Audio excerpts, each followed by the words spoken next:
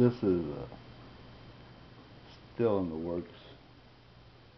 Uh, but what Daniel Baum from Baum TV in Germany, what he initially did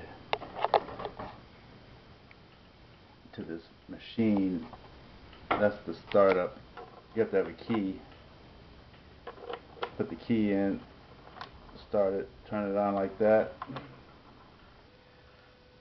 Um, he did a lot of stuff for this, and I'll be able to uh, demonstrate some of the uh, functions.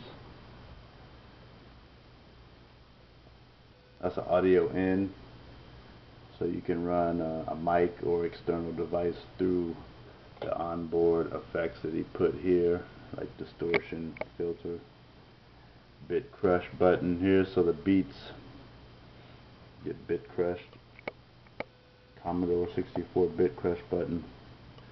And then some uh, filter distortion volume boost right here. And then the keys I will have to demonstrate what the keys do. Um,